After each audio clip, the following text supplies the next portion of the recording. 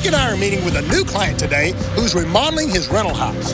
The project's come to a grinding halt because of multiple incidents of vandalism, which have already cost the owner over $20,000. We're here to find out who's behind the vandalism and to bring proof to the police. Gentlemen. Rob, Yeah. you got a big freaking project going here, bro.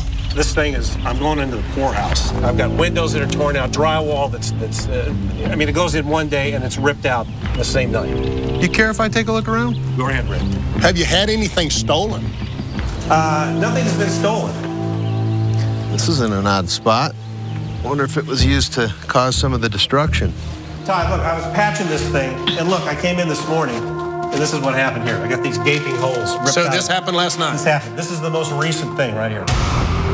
This guy's got compressors and welders and motorcycles. Nothing's been stolen, but we've got vandalism. That doesn't make any sense. Are you sure it's not somebody that's working for you? There were some people that I had to let go, and they weren't too happy about it. Do you owe them money? No. Whoa, is this part of the damage? Yeah, that's it. Yeah, that happened this morning. Personally, based on the information you've given me, you know, you you you had a group of guys working here. Well, there's also another possibility, too. Joe, my tenant here, he lives out in the back. Okay. I gave him the option.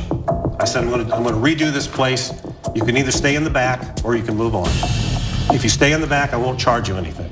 Well, let's go talk to the tenant. Oh, ho, ho, ho, what's that? Oh, shit, here we go again. Hey,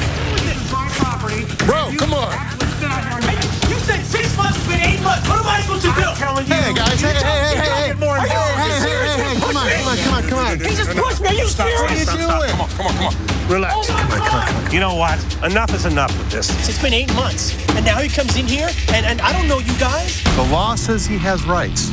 And when you're over there in his face yelling at him, that's harassment. No confrontation, okay? Sure. This is an extremely volatile situation. The owner has to be careful because his short fuse could set him up for a costly lawsuit. Guy's hard-headed. So what do you say?